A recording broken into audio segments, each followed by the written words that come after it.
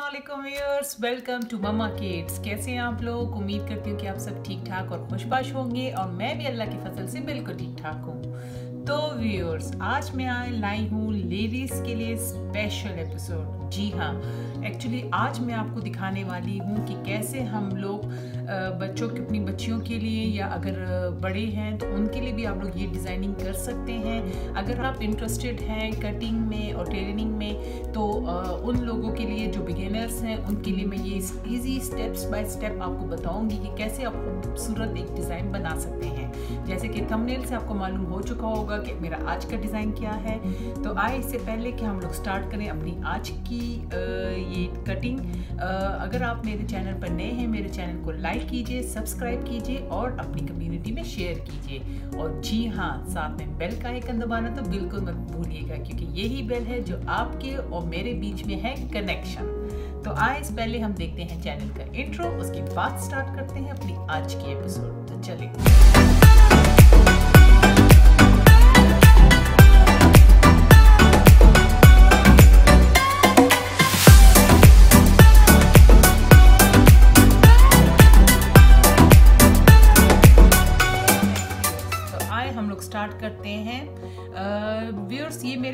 था ये अल्फ़ाबेटिकल कपड़ा आप देख सकते हैं। लॉन्ग का स्टफ़ है ये, आप कॉटन का भी यूज़ कर सकते हैं।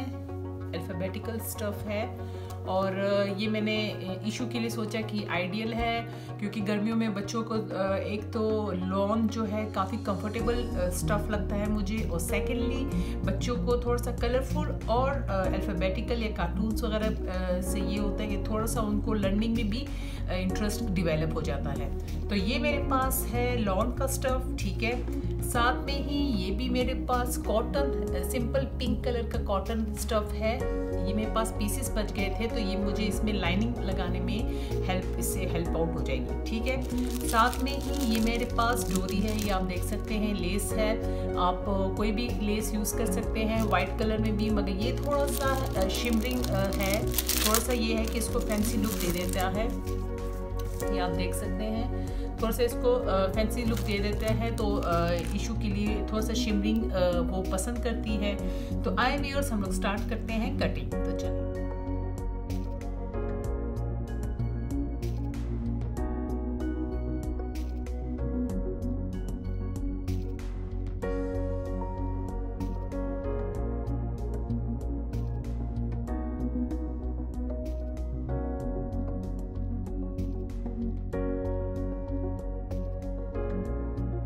जी व्यूअर्स, पहले मैंने आगे गले के लिए मैंने यहाँ पे गला बना दिया है, उसको स्केच कर दिया है। 5.5 था और मुझे चाहिए था और थ्री डेप्थ चाहिए थी तो उसका हाफ़ मैंने कर दिया और बैक का मैंने डेप्थ जो है वो टू दे दिया है। और साथ में ही आपको मैं बताती चलूँ कि शोल्डर्स की हमेशा जो साइज़ आपके पास होगा, वो आपके यहाँ पर एल्बोज के लिए भी स्लीव्स के लिए भी उतना ही आएगा। तो मुझे मेरे पास यहाँ पे इशू का था सिक्स तो मैंने यहाँ पर भी सिक्स का निशान लगा दिया है। ठीक है? तो आप ये स्ट्रेट लाइन यहाँ पर कर लें। और जिन व्यूअर्स को आइडिया नहीं है कि इसलिए जल्दी जल्दी में कर रही हूँ जो मेरे नए हैं। अगर आप मेरे चैनल पर तो आप पुरानी वीडियोस में स्टिचिंग वगैरह में जाकर आप देख सकते हैं कि उसमें मैंने स्टेप बाय स्टेप इजीली आपको बता दिया था कि स्लीव कटिंग कैसे करते हैं साइज़ कैसी ली जाती है शर्ट की। तो आप पहले मेरी वो वाली वीडियो देख लीजिएगा। अब मैं जल्दी में आपको बता दूँ कि ये मैंने स्लीव्स के लिए फ्रेम बना दिया है। अब इसका यहाँ पर मैंने आपको पहले ही बताया था हाफ़ या वन इंच हम लोग यहाँ पे ऊपर कटिंग करते हैं शोल्डर की ठीक है डायगोनल गले की पॉइंट के साथ। अब हम लोग इसका सेंटर ले लेते हैं। 2.5 तो यहाँ से हमारे पास आ जाएगा स्ट्रेट और यहाँ से हम लोग अंदर से हमेशा वन इंच तकरीबन आप पॉइंट लगा दें तो उसके सर्कल होगा। और यहाँ पे जो पॉइंट है ज्वाइन करने का, हमें चाहिए होगा चेस्ट जो है वो ट्वेल्व है, ठीक है? तो हम लोग उसका हाफ़ ले लेंगे सिक्स ठीक है? तो यहाँ पर आ जाएगा तो ये बिल्कुल सही जगह पे कटिंग हुई है।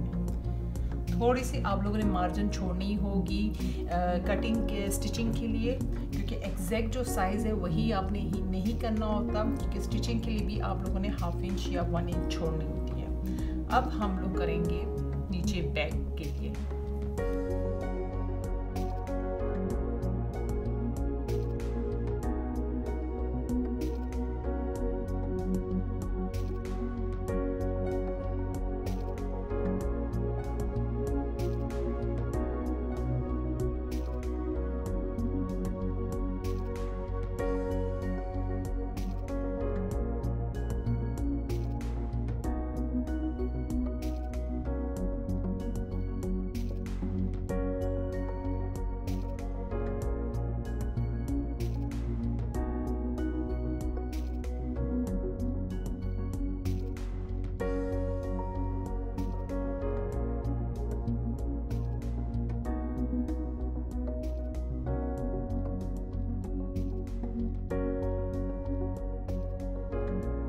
शर्ट की कटिंग हो गई है। इसमें मैंने आप देख सकते हैं कि मैंने आपको सिर्फ़ गाइडलाइन के लिए यहाँ पे फिटिंग के लिए बैक और हिप्स के मेज़रमेंट के आइडिया दिया है।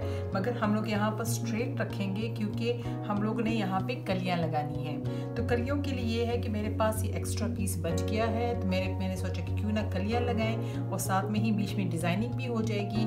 तो हम लोग लेस भी लगा देंगे पाइपिंग भी कर लेंगे साथ में। तो कलियों के लिए आप लोगों ने उस शर्ट के ऊपर आप लोगों ने शोल्डर से साइज़ नहीं लेना होता। आप लोग को जो यहाँ पर चेस्ट साइज़ होता है तो उससे आपने इसको मेजर करना होता है। मेरे पास कलियाँ जो हैं, वो आ रही हैं 21 और शर्ट की साइज़ है 27 ठीक है? तो अब हम लोगों ने क्या करना है, हम लोगों ने दो कलियाँ नहीं काटनी, हमने बल्कि चार कलियाँ, क्योंकि दो आगे, दो पीछे लगेंगी। तो उसके लिए आप देख सकते हैं, इस पीस को मैं कर लूँगी चार हिस्सों में डिवाइड ठीक है?